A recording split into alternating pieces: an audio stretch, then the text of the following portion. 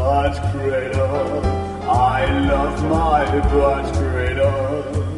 It's so comfy and fluffy.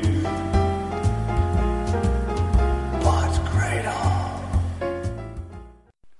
So we're here with Ashley from ButtCradle.com, the fabulous butt cradle, which I love. Hey Ashley, how are you doing? Hi, I'm good. Good. All right. So tell folks about the butt cradle. Well, it's a stool cover that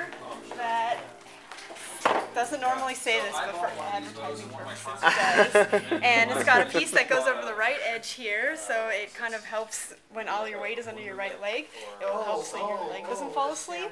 Uh huh. And then there's more foam in the back, so then you don't end up leaning backwards. You end up being pushed forwards the ways.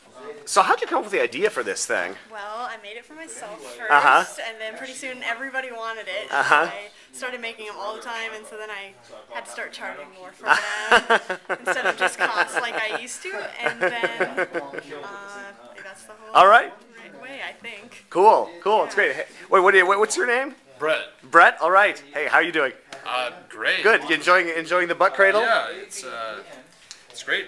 You can play on this for hours. Comfortable? All right. All right. Without Yeah. any pains. Looks nice. Looks nice. hey, hey, Doran, how are you doing? I'm pretty good. Yeah. So you're you're a butt cradle. Now you stand, so you're I not using stand. the butt cradle. It's, But it's if not I gonna- sat, I would buy a butt You cradle. You get a butt cradle? Okay, great, great. And you go to uh, Indiana, right? Yeah. IU? Yeah? Yeah. You see a lot of butt cradles around there? I see everyone having a butt cradle. Great, great. Well, I, I got my butt cradle in my car, so Yeah. so it's great. Good.